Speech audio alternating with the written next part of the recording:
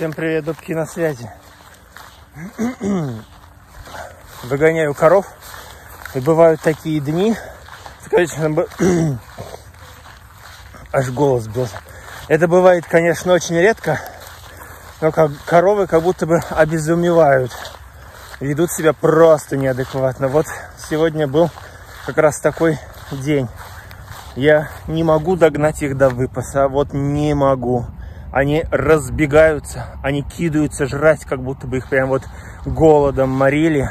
Они только вышли есть, и они сразу кидаются жрать. Хотя сейчас трава хорошая. Вчера они пришли с наеденными боками, все нормально. И сегодня я их выгнал даже раньше, чем обычно, гораздо раньше. Прям кое-как, вообще не идут, разбегаются. Я их не могу собрать в кучу. Они рассыпаются кто куда. Соответственно, мне приходится между ними бегать, подгонять. А про- про- подогнал несколько метров одну, тут же остановилась та, от которой ты только что отошел. Короче, я оборался, обматерился, обхлестал их. Ой, мысленно уже всех переработал на колбасу, сдал там на головешке. Просто ненавижу их, прям вот презираю. Смог догнать только вон одну вечерку привязал. Сейчас вот возвращаюсь за ночкой. Ночка.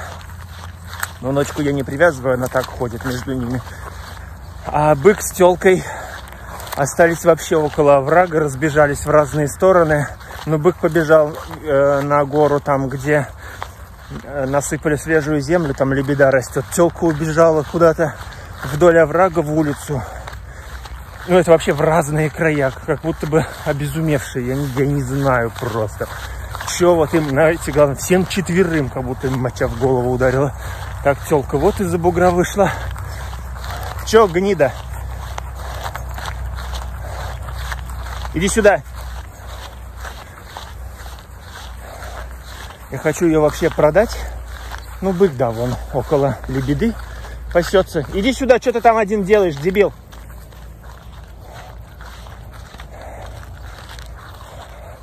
Ну, еще, естественно, она не дается привязываться, потому что я на них орал, бил их.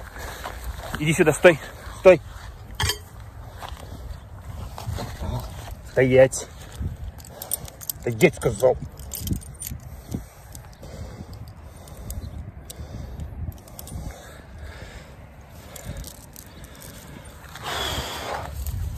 Про просто какой-то ужас. Вот такие вот веселые исключения бывают. Видите, пытаюсь их собрать, согнать в кучу, чтобы всех вместе гнать до места. Это вон ломанулась в бок и побежала. Ни слепней никого у нас нету сейчас. У нас их вообще практически нет. Вот так вечером, когда утихает ветер, появляются комары. А так вот насекомых, чтобы им досаждали и заставляли их так носиться, у нас нет. Это вот фух, швея или шлия под хвост попала. Они себя так ведут. Так, бык, стой. Здесь не привязывались, я тебя сейчас здесь привяжу. Айтовцу. Так вот, он, видите, идет, тащит за собой веревку. Вот она волокется. Опа. Все, стоять. Сейчас вот кол забью. Будет он здесь меня пастись. Но, несмотря на такие зачастую негативные моменты в нашей жизни, я все равно э, пока могу, пока стараюсь видеть в ней что-то прекрасное, что-то для себя интересное.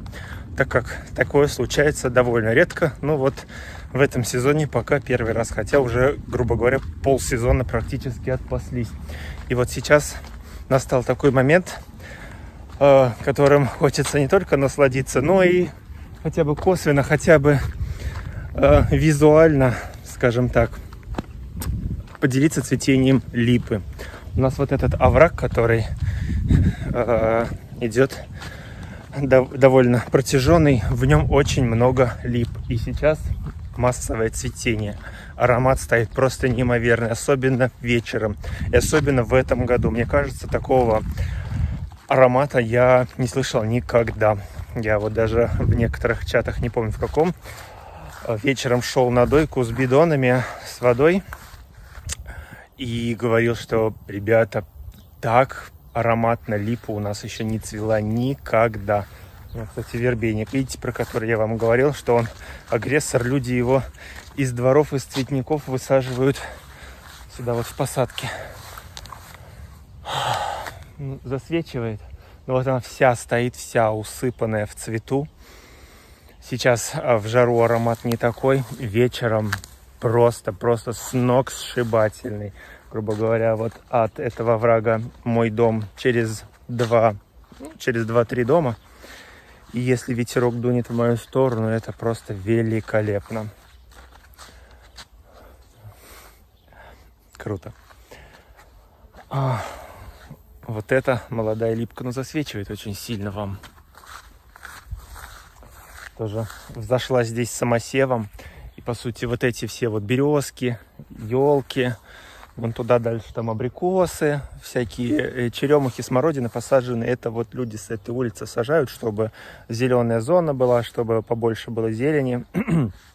Более красиво здесь было находиться. Здесь тропинка вот идет, короткий путь, чтобы не в обход через плотину, а вот через овраг люди ходят и облагоустраивают, облагоустраивают, благоустраивают, облагораживают место, где живут. Как говорится, не место красит человека, а человек место. И вот эту, эти липки зашли и их огородили колышками, чтобы когда косят здесь траву, чтобы их не скосили. И вот буквально пару-тройку лет. Тут все-таки вода, влажность и такая красотка уже выросла. Так, и еще отвечу на один вопрос про мои футболки. Тоже очень часто спрашивают, где я беру футболки. Они у меня такие яркие. Это я футболки уже много лет покупаю в магазине Катон. Я не знаю, возможно, есть и интернет-магазины. А у нас в Саратове Катон в торговом центре Тау э, на Третьей Дачной в торговом центре. Ну, торговый центр Тау. И в нем есть магазин Катон. Это натуральная ткань, э, ну, ХБ. Она очень дышащая, ноская. Вот этой футболке 5 лет. Она как новая. Футболки там недорогие, в пределах тысячи. Ну вот они, смотрите, и принты на них классные. И они ХБшка, они дышат. Реально ну, я считаю, хорошее качество. Утки, которые остались у меня на племя, два гнезда черные. Это американская порода уток каюга. В начале яйцекладки у них они несут черные яйца. Постепенно они приобретают серый цвет, но последующие яйца. Ну, а потом они несут уже обычные белые яйца, как и обычные простые утки. Такие вот они на свету вот видите, шеи у них приобретают такой зеленоватый отлив, очень красивые, особенно если утки накупаются или где-то на реке, на воде. Вообще красавицы неимоверные. Ну а вот эти вот светлые утки, это хохлатые.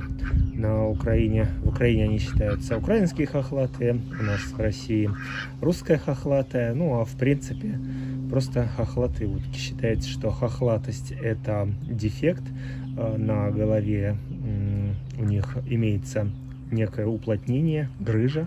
И вот эта грыжа, она обрастает перьями и, э, собственно, хохолок от этого и образуется.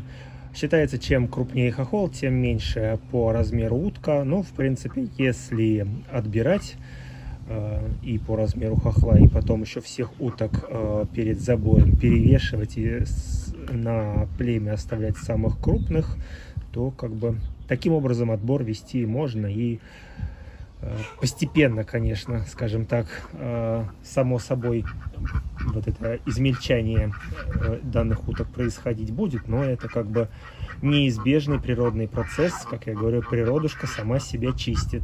То есть это как бы считается дефектом, и природа делает так, чтобы эти утки были не конкурентоспособны, ну, соответственно, были меньше размером. Всем вечернего Дубковского здрасте. Что там, не видно меня, да? Ну, короче, это у меня маленький подойник для козьего молока. Вот, тороплюсь, сейчас должны приехать за козьим парным молоком. Ну, вот так вот некоторые клиенты хотят брать именно парное. Как бы хотят, так хотят. Поэтому приходится делать такой перерыв. Вообще, в один большой бидон у меня от трех коров молоко не умещается, он на 23 литра. Приходится нести два бидона. И, в общем, что э, два бидона несу сначала коровье молока, а потом возвращаюсь за козьим. А если у меня нет заказа на козье молоко, то я его иногда выливаю в коровье молоко, и все идет на совместную сепарацию. Вечерние дубки.